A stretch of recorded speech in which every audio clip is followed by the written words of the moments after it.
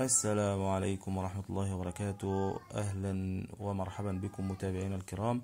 النهاردة إن شاء الله نبدأ آه، فيديو جديد ويا رب أحاول أوصل من خلاله معلومة ولو آه، بسيطة والناس تستفيد إزاي إن هي ترسم الزخارف الروماني آه، سلسلة الدروس اللي أنا شغال فيها الفترة دي بعتمد على ال- الألوان البلاستيك بشكل كبير وإزاي إن أنا أقدر أستفيد من الألوان البلاستيك في عمل طابلوهات مقبولة وتناسب الذوق ال- الكلاسيك وخصوصا الزخرفة الروماني أو اللي بنسميها ال trompe-l'œil آه، أنا جهزت الرسمة قبل ما أبدأ قبل ما أبدأ تصوير وفي البداية ملو عادي جدا زي ما حضراتكم شايفين.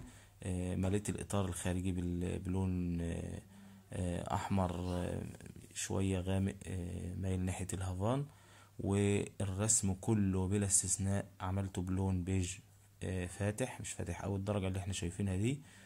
وباختصار شديد هبدأ إن أنا آه، أعمل درجة أغمق من دي. يعني زي ما إحنا اتفقنا الفترة اللي فاتت إحنا بنشتغل بالثلاث درجات اللي هم الوسط اللي أنا مليت بها في البداية والأغمق والأفتح. وطبعا تاتشات الأبيض في النهاية ولو هدي تحديد أو تنكير باللون الغامق اللي هو أقوى لون.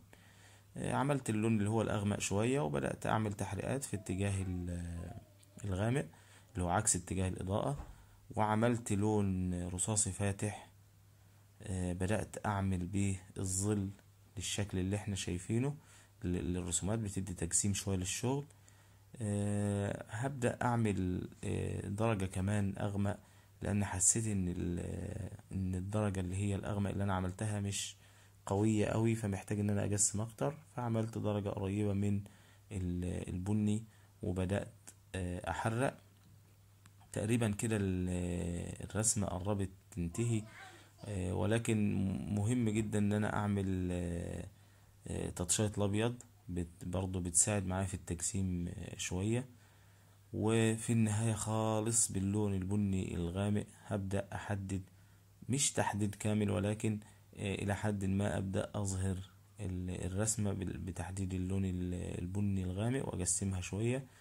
وبس كانت دي الفكرة. آه، النوع ده من الزخارف مناسب جدا لعمل آه، طابلوهات آه، على الجدران أو آه، لوحات كاملة بنفس الشكل.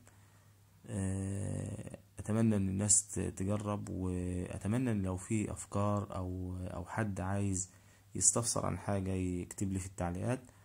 وبس ده كان ال- الشكل النهائي.